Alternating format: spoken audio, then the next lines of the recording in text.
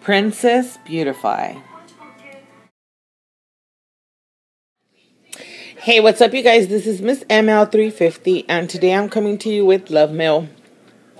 I got Love Mail from Princess Beautify here on YouTube, and this is the package that it came in. Of course, it didn't come ripped.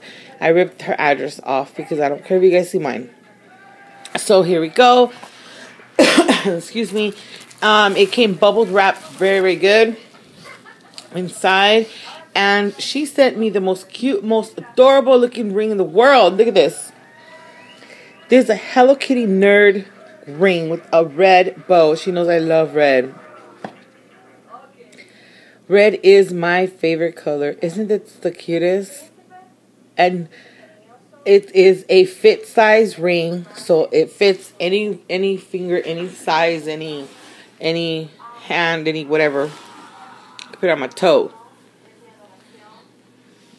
So that's my prize mail from Princess Beautify. I hope you guys enjoyed this video. I know it's short and everything. I just wanted to show you my cute little Hello Kitty ring.